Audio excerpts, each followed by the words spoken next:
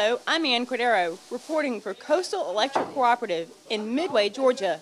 Froggy and I are here with the members of the Bright Ideas Prize Team, employees and directors of Coastal Electric Cooperative and its foundation. We're getting ready to go out and award grants to teachers today. We're going to deliver them prizes and some good news.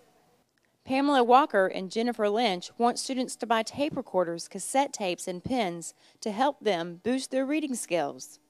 My name is Pam Walker, and I'm a fourth grade reading teacher at George Washington Carver in Richmond Hill. And we've submitted an idea of the four color pen strategy. It's a reading strategy that's research based to improve students' fluency.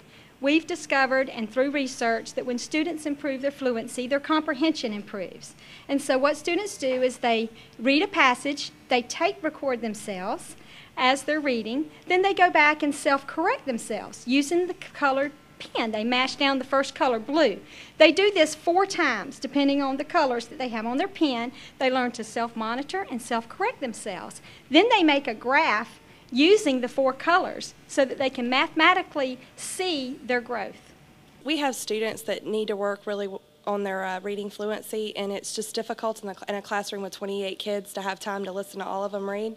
So we thought it would be a good idea to let them um, start learning how to do that for themselves because it, the whole point of education is to become a self-directed learner. So it just teaches them good self-direction. Okay. Would you like to tell us your name? My name is Jennifer Lynch. I also teach fourth grade at George Washington Carver Elementary. Good job, Miss Walker! With Coastal Electric Cooperative, teachers have the power to put their bright ideas to work.